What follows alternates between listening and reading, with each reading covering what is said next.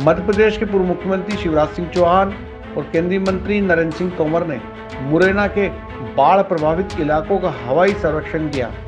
शिवराज सिंह ने बाढ़ की हालत बिगड़ने के लिए प्रशासन को दोषी ठहराया और कहा कि गांधी सागर बाँध से पानी छोड़ने के कारण बाढ़ के हालात बिगड़ गए।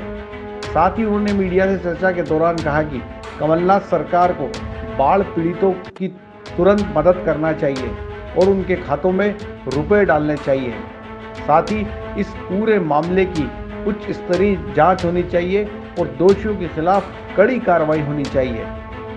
क्योंकि समय पर पानी रिलीज़ नहीं किया गया, इसलिए इसकी जाँच होनी चाहिए। और मैं मांग करता हूँ मुख्यमंत्री से, जिन लोगों के घर गिरे हैं नया घर बनाने के लिए पैसा दें, जितना सामान नष्ट हुआ है आकलन करके उसकी राशि दें। तत्काल पच्चीस हज़ार रूपया हर प्रभावित परिवार को दें, ताकि बर्तन, कपड़े, किताबें, ज़रूरी सामान खरीद सके, कुछ दिन के भोजन का इंतज़ाम हो सके।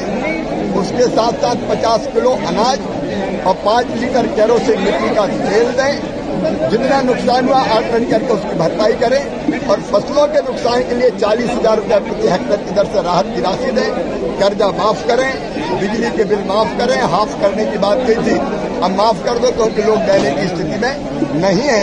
इस संकट में जनता के साथ खड़े।